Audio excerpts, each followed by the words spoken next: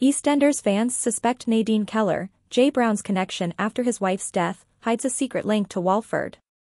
Jay commits to supporting Nadine and their unborn child, unaware of her deceit. Meanwhile, Bobby Brazier joins Paramount's curfew alongside EastEnders legends in a society with a 7 p.m. curfew. Zack Hudson's betrayal unfolds as he kisses Whitney's friend, Lauren Branning. Fans of EastEnders work out in a shocking twist, Nadine is linked to Walford legend. Seven hours ago, Grace Morris published this. Fans of EastEnders believe Nadine Keller is concealing a significant detail regarding her relationship with another Walford resident. Fans of EastEnders believe Nadine Keller is secretly related to a Walford celebrity since last night's show raised the possibility that the escort's baby secret will be revealed. Jay Brown felt a connection with Nadine, his escort, because of her remarkable likeness to his late wife Lola Pearce Brown. After his wife Lola died of a deadly brain tumor, Jay was overcome with grief and turned to Lola's twin Nadine for comfort. He paid her to sleep next him that night, but after he began buying narcotics from her, he overdosed and got into a vehicle accident. He ended their relationship because he wanted to get his life back on track, but when she returned and told him she was expecting his child, Jay was shocked. Jay, who though, is unaware that Nadine has been defrauding him of money by pretending to be pregnant. Although Jay was first hesitant to consider becoming a father, he is now totally dedicated to helping Nadine and their unborn child. Jay introduced Nadine to Billy Mitchell, Honey Mitchell, and Callum Highway in Friday night's episode. She also apologized for causing Lexi Pearce any distress after revealing that she was having Jay's child. Nadine was clearly uncomfortable with all the talk about babies, so when Jay revealed that he had purchased a new cot and a monitor in anticipation of the baby's birth, Nadine felt overcome with remorse. Nadine eventually became overwhelmed by everything and fled the house. After a while, Jay tracked her down at the Albert and apologized for everything, but she freaked out and walked off when he leaned down to touch her baby bump. When Nadine returned, Jay apologized once more, saying, I guess I just got a little excited. I've never experienced a baby kick before, at least not my own. Jay volunteered to take Nadine out for dinner and said he could feel the baby kick one morning or afternoon after she made a joke about how little the baby kicks while she naps in the afternoon. But it appears that her little white lies are about to catch up with her, since later Lexi noticed Nadine slipping vodka into her drink, raising suspicions right away. Fans, however, believe Nadine is concealing a second secret, she is Lola's sister. Grace is a digital journalist for WhatToWatch.com, where she provides all the most recent soap opera news and responses in addition to writing series recommendations, recaps, and features for must-watch shows. Her passion for creative writing, movies, and television only grew after she earned a degree in writing and film studies from Anglia Ruskin University in 2020. Usually with chocolate by her side, you can find her watching the drama play out in the newest reality shows or beloved UK soap operas. She is an authority on all things reality TV, including Selling Sunset, Married at First Sight UK, Emmerdale, Coronation Street, and 90 Day Fiancé UK. Plus Virgin River, a huge smash on Netflix. In addition to watching and reading about the newest movies and TV shows, Grace enjoys traveling to new locations with her loved ones. Bobby Brazier joins EastEnders icons Gavin and Stacey in a new TV role. Alongside stars from his own TV show, EastEnders, and Doctor Who, Bobby Brazier has landed his next drama role. It was announced today that the beloved Strictly Come Dancing contestant will be joining the cast of Curfew, which premieres on Paramount+. Plus. Alongside Brazier, other cast members were revealed on Thursday. These included Lucy Benjamin from The Detectorists, Larry Lamb from Gavin and Stacey, and Anita Dobson, a former EastEnder.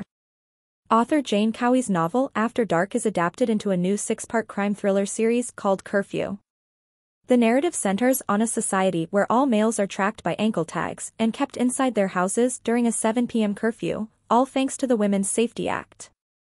According to the show's summary, a woman gets brutally murdered every night during curfew hours and her body is found there. Veteran police officer Pamela Green feels that a man should take responsibility, but since men are restricted by curfews in this planet, she might invalidate the Women's Safety Act if she can establish that a guy was the murderer.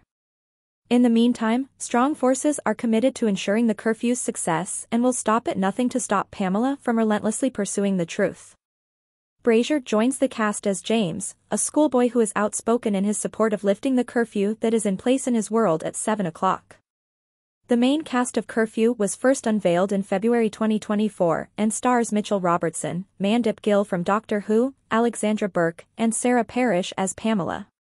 Additional ensemble cast members for the production have been revealed, including newbie Rafael Dalterio, Tommy McDonnell, Adam Corson, Amy Louise Pemberton, DC's Legends of Tomorrow, Imogen Sandhu, James Craven, and Salorma Donu.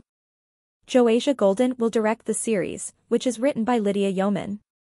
Curfew is now in production and will eventually air on Paramount+. Plus. Bobby Brazier joins three iconic EastEnders cast members in a significant new Paramount TV role. What a legendary lineup! Bobby Brazier of EastEnders, along with three other legendary soap opera stars, has secured a new role in the Paramount Plus drama Curfew. After competing in Strictly Come Dancing last year, the 20-year-old star of Freddie Slater is presently enjoying a vacation from the BBC One serial opera. In his new position, Bobby will co-star with a number of legendary Walford characters, such as Anita Dobson, who played Angie Watts, Lucy Benjamin, who played Lisa Fowler, and Larry Lamb, who played villain Archie Mitchell. Curfew is an adaptation of Jayne Cowie's After Dark, which got underway in the first part of this year. In the show, men are subject to a 7 p.m. curfew and are tracked by ankle tags in a society ruled by the Women's Safety Act. However, when a woman is brutally murdered after hours, a police officer makes fruitless attempts to establish that one of the other women wasn't accountable. Bobby will portray James, a talkative student who is adamantly opposed to the laws that have been placed in his neighborhood. DCI Lucy Benjamin Larry Lamb plays Reese Holden, an American who moves to the UK and finds it difficult to live with the restrictions, and Sue Ferguson, a member of the police squad in charge of the inquiry. Janet, a woman who manages a haven for women who don't want to live with men, will be portrayed by Anita Dobson. Mandip Gill and James Craven, two other soap opera stars, have already committed to the project.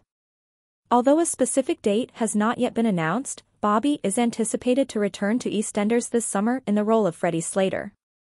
His persona departed from Walford to see his mother Little Mo off-screen, but he will be coming back with Big Mo. In addition, the two will be the main cast members of a spin-off series on TikTok that chronicles their time spent living in Mo's caravan before moving back to Albert Square. Huge Zack Hudson betrayal on EastEnders airs early on iPlayer. Whitney, poor thing. In the most recent episode of EastEnders, Zack Hudson and Whitney Dean's story took a dramatic turn. In the last seconds of Thursday's visit to Walford, which you can see on BBC iPlayer, Zack and Whitney's closest friend Lauren Branning shared a passionate kiss. After Brittany's outburst over how she truly ended up in Whitney's care, Zack and Whitney's already precarious relationship has been put in limbo. Since coming back to the square last month, Whitney has been lying to Zack, telling him that she had done all the right paperwork and was now fostering Brittany, whom she had met in Milton Keynes.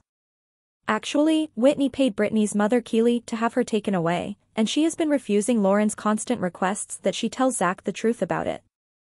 Feeling that Lauren was the one who was telling Zack the truth, Whitney angrily yelled at her and used some foul language. Whitney then made an attempt to clarify herself to Zack, but he was still incensed that she seemed to be more focused on Brittany than on him. When Whitney later told Zack that she would rather have Brittany than him in a pinch, things only became worse. Zack was devastated and went to Peggy's to drown his sorrows. Lauren consoled him there. With Sonia's assistance, Whitney made the decision to be honest with Brittany about her condition as feelings between Zack and Lauren began to blossom. Zack and Lauren were kissing passionately while Whitney tried to comfort Brittany over the news. Please subscribe our channel.